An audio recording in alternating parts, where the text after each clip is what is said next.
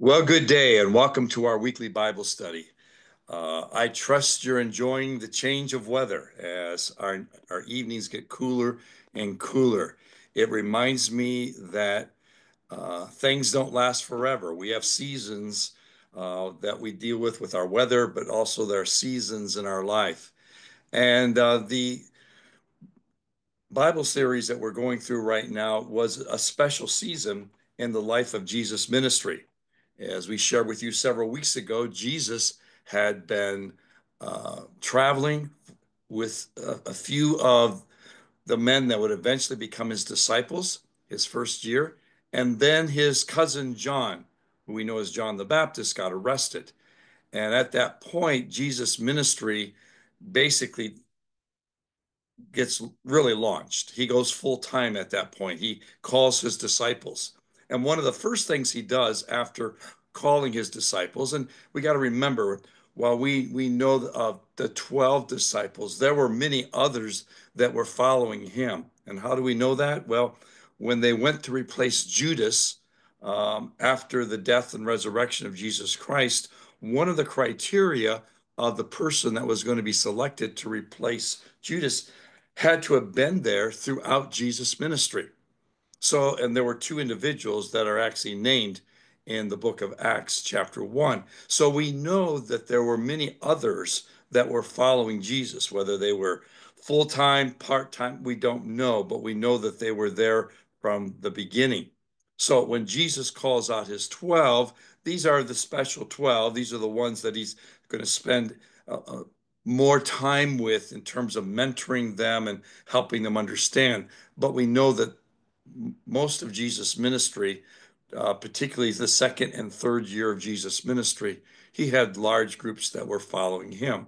And so one of the first things he does after he calls out and selects his 12 disciples is he sits down and he begins to teach them about what God's kingdom is all about. Uh, and what we've seen thus far is it's very different from the religious life that had been um, communicated throughout uh, the, the, the disciples' lives. In other words, they're seeing the kingdom from a very different perspective.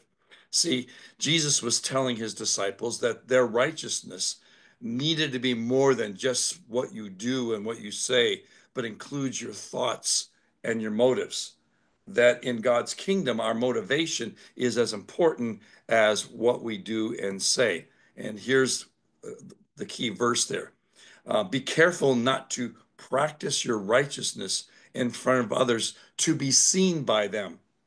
If you do, you will have no reward from your Father in heaven. And so last week we we spent quite a bit of time looking at giving and praying as it relates to what this verse is communicating. But the key for your life and my life is that God cares about things and that there is a reward on, on how we live our life. It's not a reward of we get into heaven or we don't get into heaven. It's a reward of just what we've done to contribute to those around us, to contribute to things that heaven values. Thy kingdom come, thy will be done on earth as it is in heaven.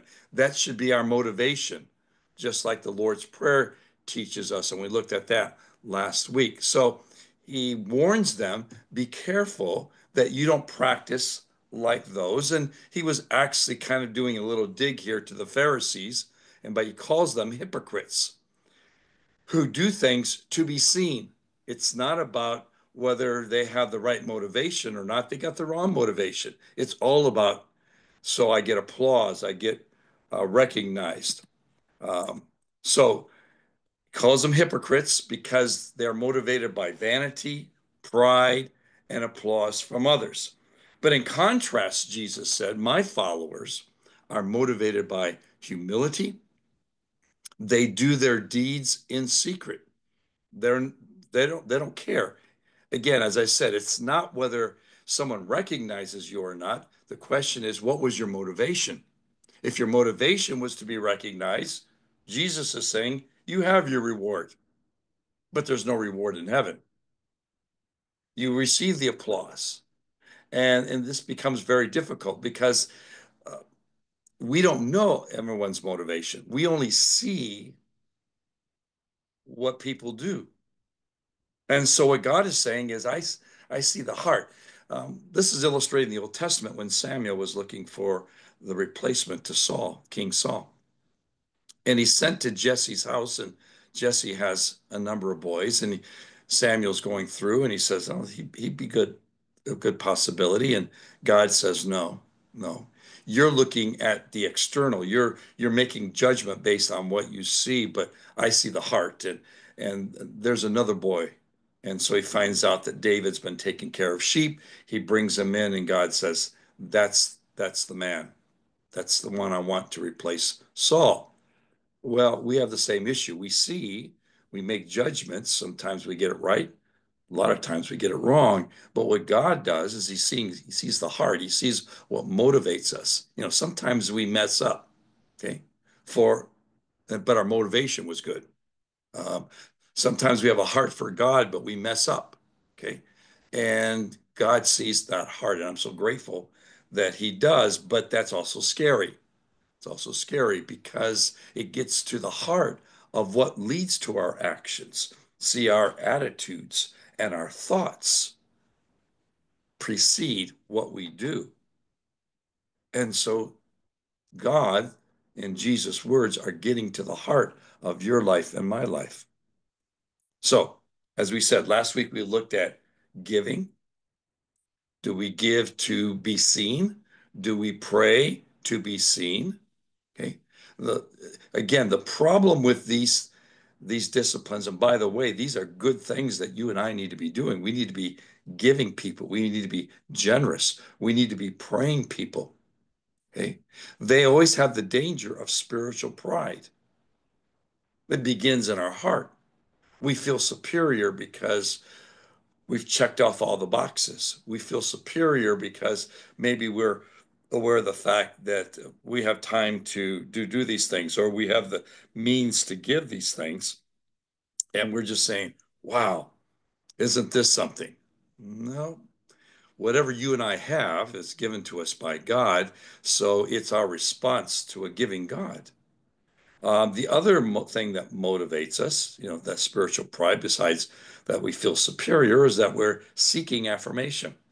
We want to receive the applause of others. We want to be affirmed. And that's a good thing when taken in, properly, but it can be a bad thing when it's all about the applause of others. Why do I do what I do? Why do I say what I do? You know, I, I listen to you know political speeches and I listen to people uh, other preachers and, and I, I, look for how do they present themselves? Are they presenting themselves in order to speak to the hearts of people and the minds of people or are they doing it to be affirmed? It's kind of like watching um, a political speech. We'll, we'll, we'll stay in the, the politics area now. And you got a whole room full of your supporters. Do you think that what you say and how you say it is different than if you had a mixed group there that had opposing point of view? Okay. What motivates us? Okay. And so we, we, we want to be affirmed and uh, maybe we don't care about those who oppose us. And so we're going to say things that we know will just get people excited and motivated? Seeking affirmation can uh, be a, a deadly thing in our lives. And so Jesus is saying, one, be careful that when you do your deeds, when you do your practice in righteousness, that you don't do it to be seen by others, but you do it as unto the Lord.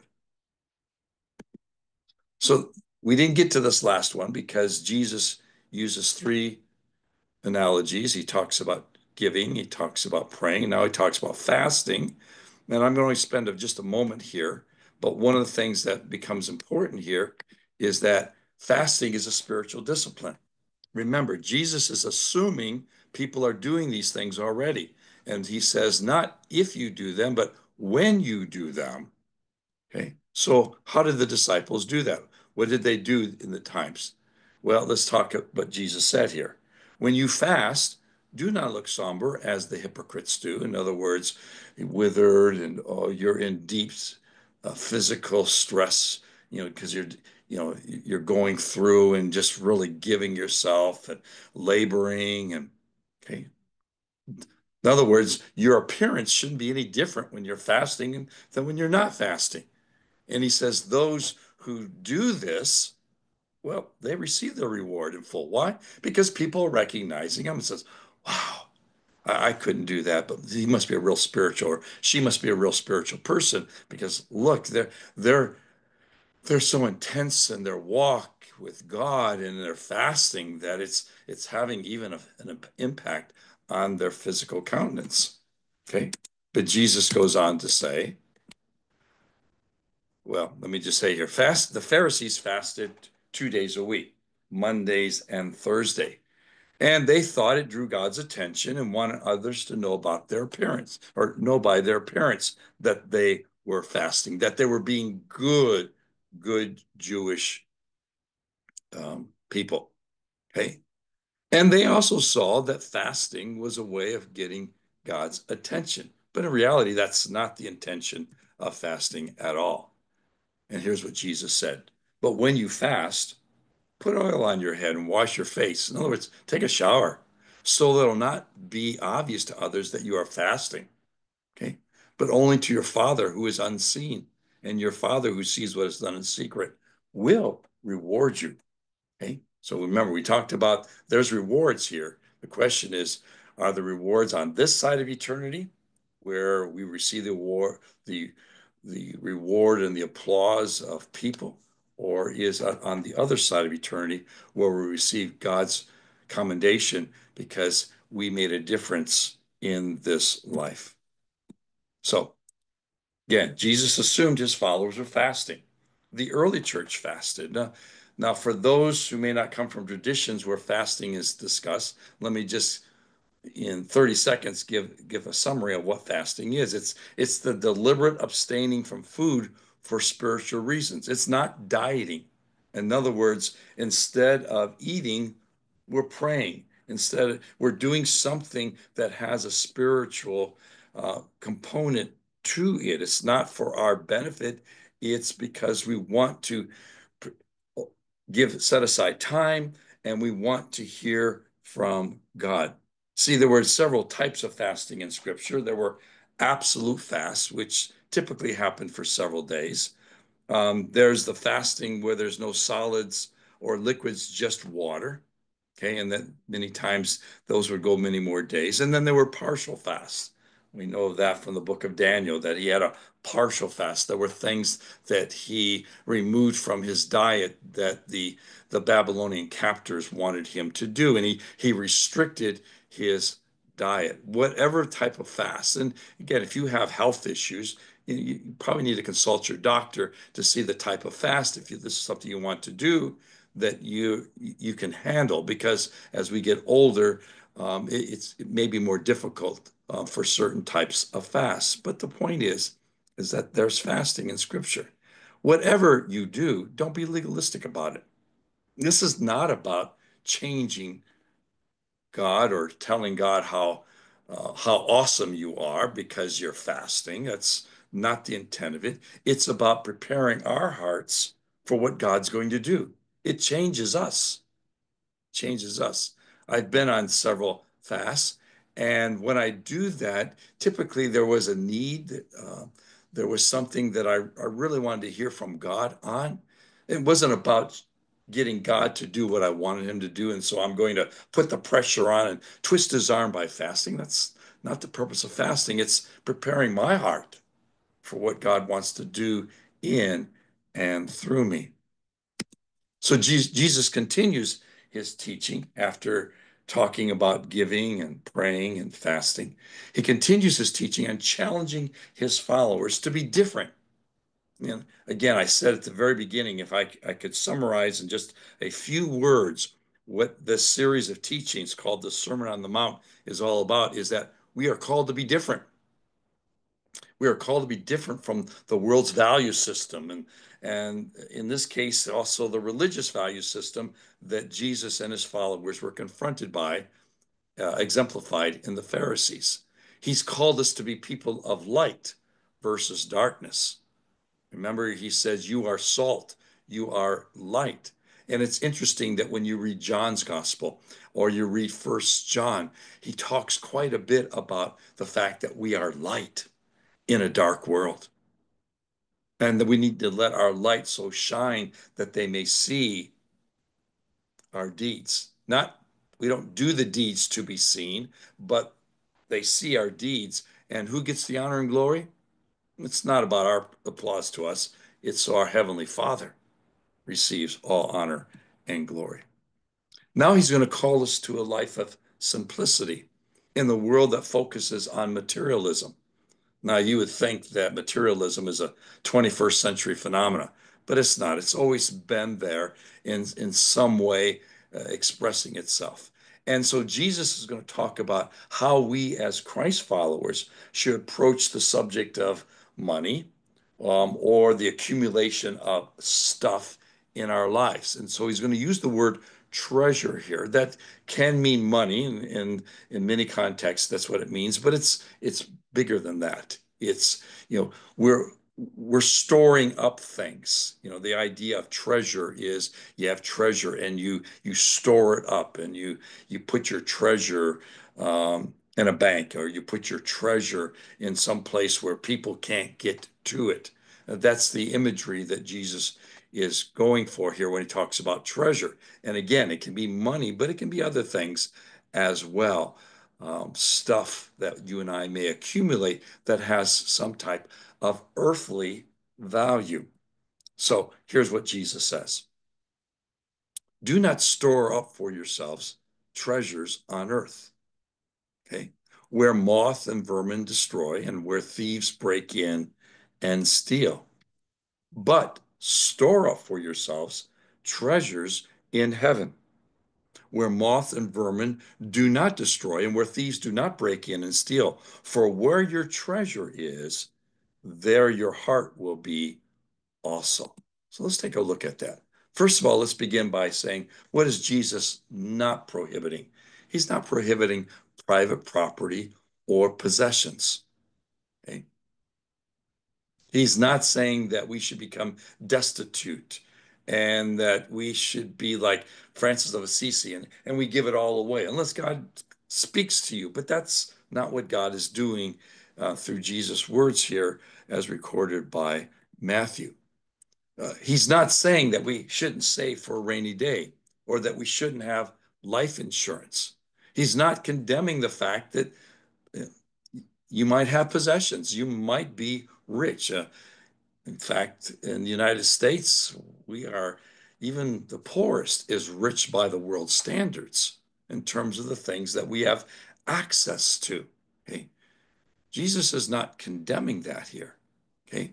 Now, the scripture talks about being rich. It does create problems. Now, let's define rich here. Rich is when I have much more than what I really need. Okay. Uh, that's rich. Okay. Uh, if I'd got $100,000, uh, I'm rich if I only need $75,000. If I need $150,000 to survive and I have $100,000, I'm not rich. You, you, see, it's, it's not the amount that is, is so predominant. It, the point is, is that do I have more than I need? Well, that can create problems, but he doesn't condemn it he talks about the fact that it's hard and it's difficult because we rely on our resources rather than relying on the, the, the provider of all of our resources, God Himself. But He doesn't condemn it. In fact, Scripture clearly praises the ant for storing in summer for the upcoming season, preparing for retirement, setting aside money uh, to be able to go uh, on vacation or or build a memory with um, the grandkids or the great grandkids. Okay. Jesus is not prohibiting these things. Uh, you know, Paul calls out those who do not provide for their family. Okay. I would say to you that um, most for most people, life insurance is almost a necessity, not, not a large one. Because what happens um, when you pass, if you put your family into a financial hole because of your medical bills and everything else, I'm not so sure you're being all that wise. Now, again, there are always exceptions to uh, these principles, but the point is, is that we need to provide for our family. We need to provide emotional support. We need to provide by our physical presence, you know, you know talk to them. You know, if we still have family at home, we need to provide uh, clothing, shelter to help others. And Paul says, if you don't do this, he says, you're worse than an infidel, which was strong language in the ancient world. And it's difficult to do these things when you're impoverished. So Jesus is not prohibiting the fact that we have some means. In fact, he had some rather wealthy people that support his ministry, some, some women that had means to be able to help him as he's doing his ministry. Paul ran into people and he stayed in their home, Priscilla and Aquila. And they had a home in Corinth, and they later on had a home in Ephesus, and they had a home in Rome. And these homes were large enough that the local church met in their home. Okay. Never condemned because they were they were it was always as an opportunity. They saw their their means to be able to help others. So Paul and his traveling entourage would stay with Priscilla and Aquila when he was in Ephesus or when he was in Corinth. All right. So they're not condemned because they have. Okay. And we are not to despise the things that we have when God blesses us, but we are to enjoy the things our Creator has given to us. You know, some of you had incredible ideas, and it led to the fact that you were able to establish trusts for your family. You are able to do things. That's great. But your goal, motivation, wasn't to accumulate stuff. If it was, then you're guilty of what Jesus was talking about. But in the course of you doing what God has prompted in your heart to do, and that is make a difference in your world, and you by chance, God blesses you with financial means, then realize that you have been blessed to be a blessing. And it begins first with your family. So, what is Jesus forbidding? Well, he's condemning greed and the hoarding of money. See, we're to be drain pipes. You know the purpose of a drain pipe? It's to just channel the flow of water from off the roof down to the ground level. We are to be those that channel what God blesses us with, not to focus on accumulating more or hoarding it.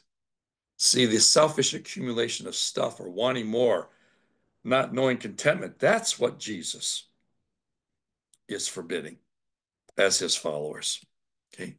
Jesus said, and Luke records this, that life does not consist of the accumulation of stuff. I, and in our materialistic world, that, turns everything on its head. You know, it's how big can we have it? How much can we have? That becomes our motivation. Now, again, we got to go back. Jesus is not saying that having it is the problem. Is was that our motivation though? Is the motivation just about having a bigger pile of stuff? Jesus said life does not consist of that. Extravagant and luxurious living is not the way of God. There, he calls us to a life of simplicity. Hard heartedness, which turns a blind eye to those in need because we can't really afford it because we got to take care of this, this luxurious house that we bought that is 10 times bigger than what we need. Okay. Now, if you can afford to do everything else and God's blessed you with a house that big, God bless you. Again, he's not condemning that. What's your motivation? What's your motivation? I'll say that over and over. We think that a person's life consists of what is accumulated, and Jesus said, no, life is not like that. But in our materialistic world, we tend to think that way. And this type of treasure, the stuff that is resulting from an attitude of greed or just hoarding and wanting more and more, that type of treasure fades and doesn't last. Okay? It gets destroyed over time, it gets eaten away. Okay? You know, for example, if I put a thousand dollars and I put it under my bed, and 10 years later, I go get that thousand dollars. Will that thousand dollars 10 years later buy what it would have bought 10 years earlier? The answer is no. It's not because it actually got physically eaten. We call that inflation, right? Inflation. So what we pay for something today is different than what we paid for it 10 years ago. And so that thousand dollars, in essence, is slowly being eaten away. Okay? We need to invest it in the kingdom, in the things that matter most to God. That's investing it in people, okay? Investing it in our families, investing it in the kingdom things, being kind and generous to those that are in need. Okay. You know, back then, houses were made of mud bricks and could be easily broken into. Okay. And so he's saying there is that if your goal and motivation is about accumulating and just hoarding, guess what? It's probably over time you're going to lose it. So rather than clutching the fist and holding on, let's be generous. Let's be generous. So, what are we to pursue? Well, we are to pursue treasure that has eternal or heavenly value. See, money is not our destination. It's not our goal. It's merely a tool to, to do what God has called us to do.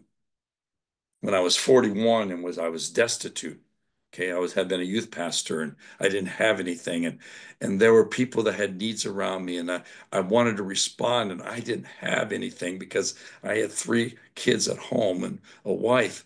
I said, Lord, I have no desire to be rich, but boy, I, I want to get to the point that I could respond to that need and not worry about what bill doesn't get paid. Okay. And can I tell you, God honored that? See, why?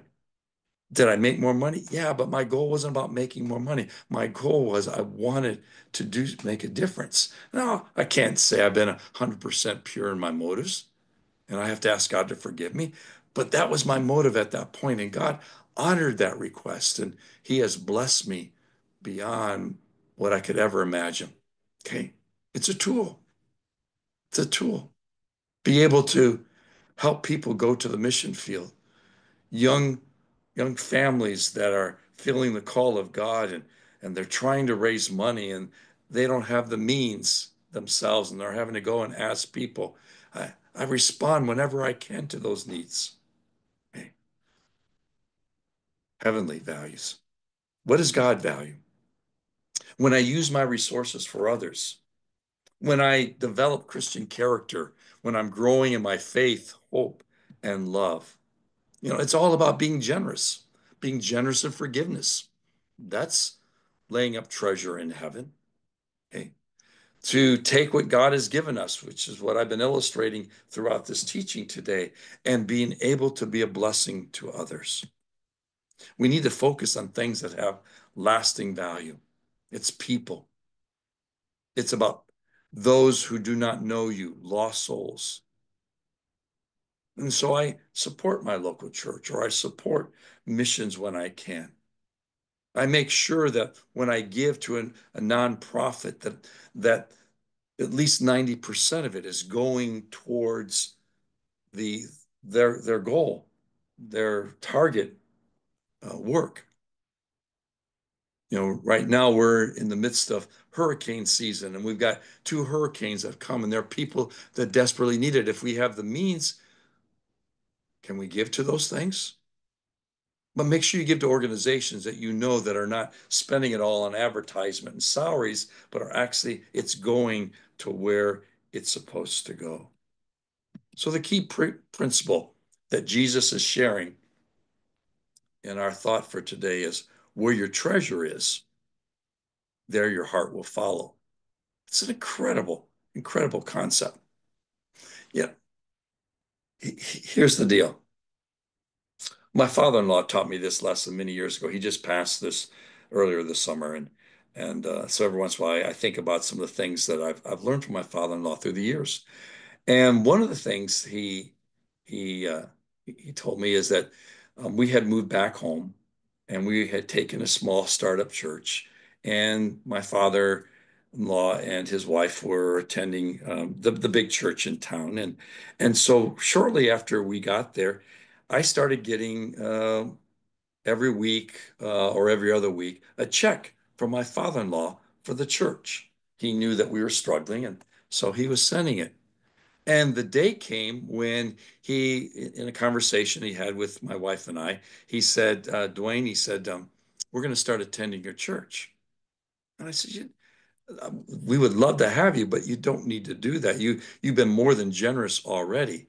And he says, um, I've learned the principle that when you start giving your money, your treasure, your time to something, the feelings and heart follow after it. And I thought, wow, that's the exact opposite of what we do in our world. We wait for the feelings to come and then we respond to needs. And that's not what Jesus is saying. He says, you, you want to have all the, that emotional, just start giving. Be a giver, give your treasure. You want to fall in love with someone, spend time with them, give of your time, get to know them. And over time, the feelings will come. See, we we talk about falling in love. Well, you know, most, much of the world, they you know they still have arranged marriages. And you say, well, how does that work? That's because they were friends long before they were lovers. They they they spent time. They were committed to each other, and then all the feelings came. And in essence, the feelings become the caboose and not the engine that drives our relationships. So don't wait for the feelings to give. Give because you purpose in your heart, and, and that's the right thing to do. You know, as I spend time with my family, as I as I give to my family of my resources and everything else, the feelings will find their place. And when I give, all those nice pitter patter motions that we have will follow that we all cherish so much in our lives. And this is true in all of our relationships. So, where's our treasure? If our treasure is focused on the things that have temporary earthly value, that's where our attention, our affections will follow. But if we give to those things that have eternal value, as we give to those in need, as we we give to help our family, as we in and our motivation is geared towards bringing honor and glory to God, the things that matter to God, then our affections will follow. Our affections will follow. And so may we be people who give out of the right motivation. You know, I don't give for the feelings. The feelings just are a byproduct of it. I give because I purpose in my heart.